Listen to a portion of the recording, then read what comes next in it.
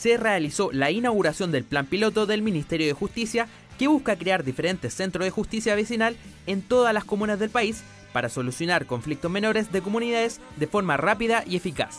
El puntapié inicial se dio en la comuna de Renca, donde el ministro de Justicia, Felipe Bulnes, acompañado del presidente de la República, Sebastián Piñera, realizó el corte de cinta del que será la primera sede de este servicio. Los nuevos centros contarán con infraestructura habilitada para la atención de público y contarán con un equipo de 10 profesionales especialmente capacitados. La propuesta consiste en generar una instancia cercana donde sea posible plantear un conflicto que quizás puede no tener una mayor complejidad jurídica, como por ejemplo podas de árboles, conflictos vecinales por ruidos molestos, malos olores o basura, entre otros, de manera que no deriven en un tema mayor. Queremos evitar que algo chico teje la grande. Queremos evitar que las personas sientan que no tienen acceso a la justicia, que su conflicto nunca encuentre una respuesta. Aquí le vamos a dar una respuesta a su conflicto.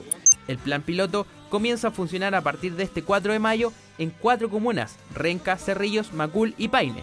Y será algo así como la doctora Polo, que busca solucionar temas pequeños para que no se transformen en algo grande.